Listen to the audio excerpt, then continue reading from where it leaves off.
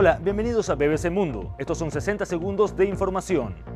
Uno de los tifones más fuertes que jamás se haya registrado sacude Filipinas con vientos de unos 300 kilómetros por hora. Las intensas lluvias están causando inundaciones y graves daños a edificios.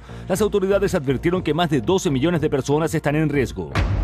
Autoridades palestinas dijeron que informes científicos sobre la muerte del ex líder palestino Yasser Arafat muestran que no murió por causas naturales.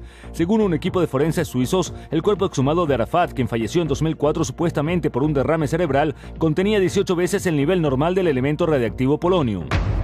El secretario de Estado de Estados Unidos, John Kerry, y sus homólogos de Francia, Alemania y Reino Unido cambiaron sus agendas para viajar a Ginebra ante la posibilidad de llegar a un acuerdo con Irán sobre su programa nuclear. Teherán podría anunciar la suspensión del enriquecimiento de uranio a cambio del alivio de las sanciones económicas internacionales. El líder del Mundial de MotoGP, Marc Márquez, dominó el primer entrenamiento de la última válida del Mundial de Motociclismo en Valencia. Márquez, quien puede convertirse en el primer novato en ser campeón, aventaja en 13 puntos a su rival por el título, Jorge Lorenzo. Siga la actualidad informativa en bbcmundo.com.